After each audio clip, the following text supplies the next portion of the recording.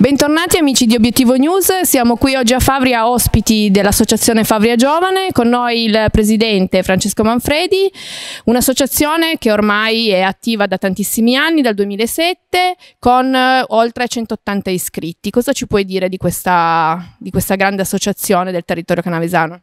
Allora, sì, bene, allora, l'associazione è nata nel 2007 ed è nata con l'intento di fare qualche cosa per il mondo giovanile Abbiamo iniziato organizzando eventi e serate a tema e da lì piano piano è diventato un po' eh, un punto di ritrovo per tutti i giovani sia di Favia che del Canavese, all'interno della quale a un certo punto è nata eh, una scuola di danza.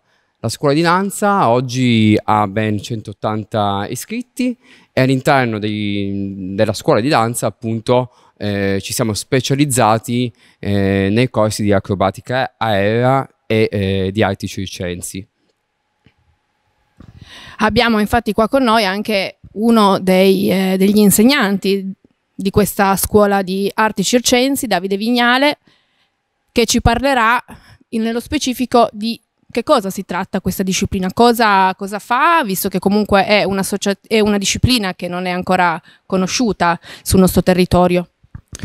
Ciao, sono Davide Vignale, sono un acrobata professionista. Insegno in questa, in questa associazione da, da, qualche anno e si è subito creato un bellissimo gruppo che è riuscito a rimanere compatto anche durante il periodo del Covid e, e delle quarantene grazie ad allenamenti online. Abbiamo poi dovuto cambiare sede, quindi abbiamo creato questa, grazie a questo, questo capannone, le altezze necessarie e consone per... Eh, per l'acrobatica aerea e nel momento in cui abbiamo ripreso i ragazzi erano contentissimi, sono partiti in quarta e quando abbiamo saputo della, della possibilità di partecipare a dei campionati sportivi abbiamo subito iniziato a preparare delle routine um, che ci permettessero di partecipare a queste gare. Il, questo, il, primo campionato era un campionato tra i primi eh, riconosciuto dal, dal, Comitato Olimpico Sportivo Nazionale e ci siamo subito qualificati comunque in modo molto molto positivo per le fasi nazionali dove siamo stati notati da delle responsabili di un altro campionato un po' diverso, questa volta un campionato legato alle arti performative dello spettacolo, quindi era compreso anche il canto, la danza e, e noi ci siamo presentati come partecipanti della disciplina del circo in generale e anche lì hanno avuto dei risultati di, direi ottimi, ma lascio magari la parola a loro. Qui infatti abbiamo due delle tre ragazze che sono, si sono qualificate per i campionati internazionali che si terranno prossimamente. Ce lo vuoi presentare così poi parliamo direttamente con loro? Allora sì, abbiamo qui immediatamente alla mia destra Giulia Elena che ha 21 anni ed è medaglia d'oro di quest'ultimo campionato nazionale e insieme a Giorgia Breviglieri lì a fianco andranno a rappresentare insieme ad altri acrobati e ad altri artisti la nazionale italiana nella fase europea di questo campionato. Quindi un risultato molto, un risultato importantissimo. Cosa, qual è la tua esperienza? Cosa ti senti di, di dire anche alle ragazze e ai ragazzi che non conoscono questa disciplina ma che magari potrebbero avvicinarci? Allora, sicuramente l'esperienza delle gare è un'esperienza in cui ci si mette molto in gioco. Io poi personalmente non avevo mai fatto gare prima. Eh, di sicuro c'è una differenza tra la gara che abbiamo fatto precedentemente e questa di, di Roma. Infatti, eh, quella precedente era molto basata sull'aspetto tecnico, invece quella di Roma era basata sull'aspetto artistico. Infatti, mi sono sentita molto più in connessione con gli altri ragazzi che facevano questo sport e che eh, si erano messi in gioco anche nelle gare con altre discipline perché c'era c'era proprio meno competizione e si respirava un clima molto, molto bello e di condivisione soprattutto.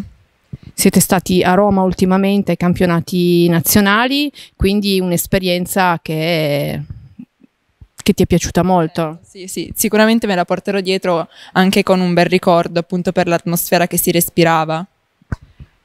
Tu Giorgia sei più piccolina della tua collega, qual è stata invece la tua esperienza? Eh, allora, io mm, mi sono trovata bene in entrambe le gare perché comunque eh, in entrambe l'atmosfera di competizione non era troppo alta ma tutti erano molto carini, solidali e ognuno si augura sempre buona fortuna eh, per l'esibizione. Però eh, quella di Roma è stata mh, diciamo vissuta meglio anche per l'atmosfera eh, proprio mh, nel complesso, il fatto che fosse anche all'aperto eh, faceva meno caldo, quindi anche l'agitazione sono riuscita a controllarla meglio fortunatamente e quindi l'ho vissuta decisamente meglio. Per i ragazzi che vogliono avvicinarsi a questa disciplina, ragazzi e anche persone adulte, cosa devono fare? Allora, sì, eh, la disciplina è aperta per tutte le fasce di età, quindi dalla, dai 6 anni a salire fino agli adulti.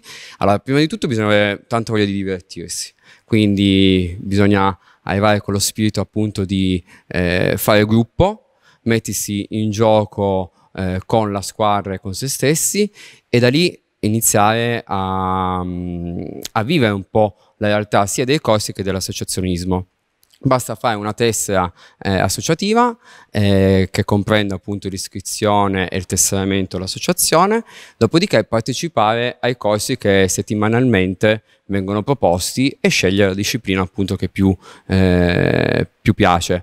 All'interno del mondo dell'acrobatica eh, ci sono diversi attrezzi eh, e Davide magari in questo vi può spiegare magari qualcosina eh, in più di me e quindi si può anche scegliere un attrezzo specifico e specializzarsi come hanno fatto le nostre eh, eh, allieve eh, in, uno, in un settore.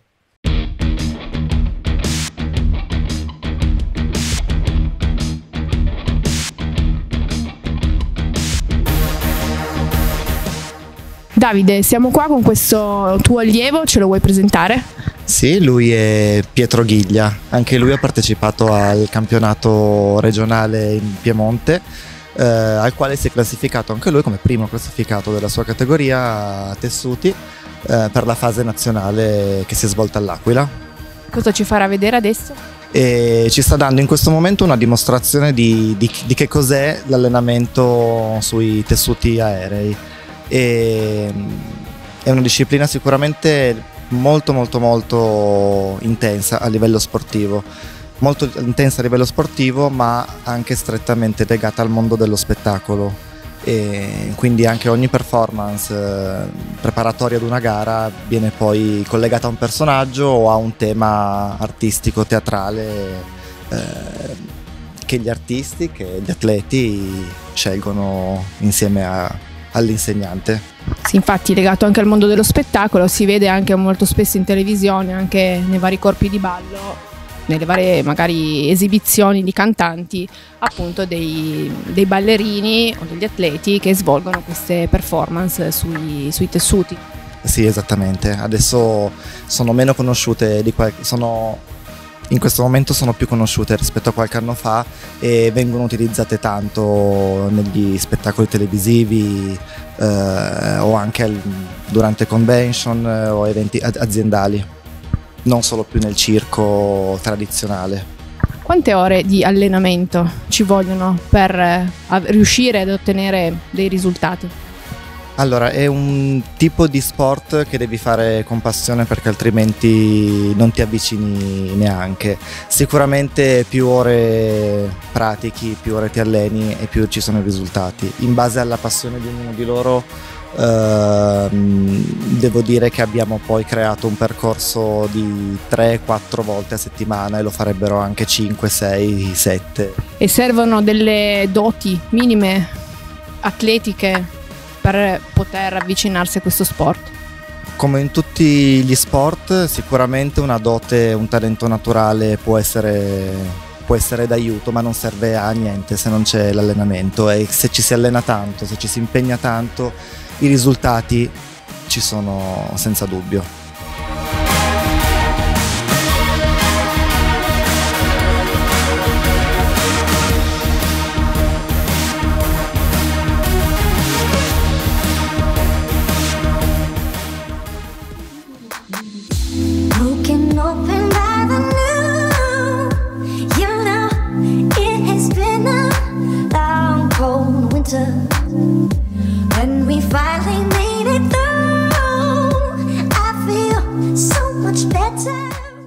Qui invece abbiamo Giorgia al cerchio.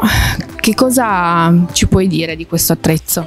Un altro genere di attrezzo dell'acrobatica aerea è appunto il cerchio, che può essere ricollegato un po' a, a un attrezzo rigido come, come, il trapezio o come altri tipi di forme geometriche eh, come il quadrato, pentagono o altro o altri attrezzi simili. E,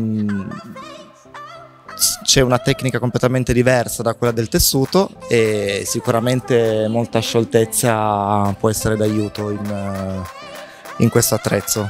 Difficoltà tecnica di questo esercizio? La difficoltà tecnica è l'interpretazione, ancora di più che, che, nel tessuto in questo caso. E per il resto, come, come dicevo prima, tanto allenamento.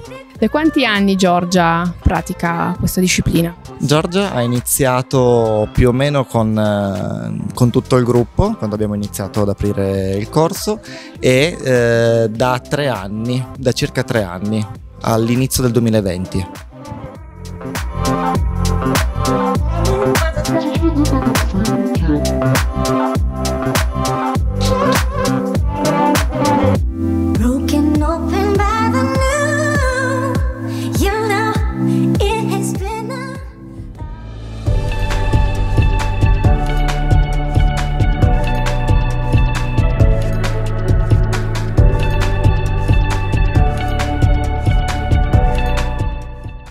Giulia al tessuto cosa ci sta facendo vedere?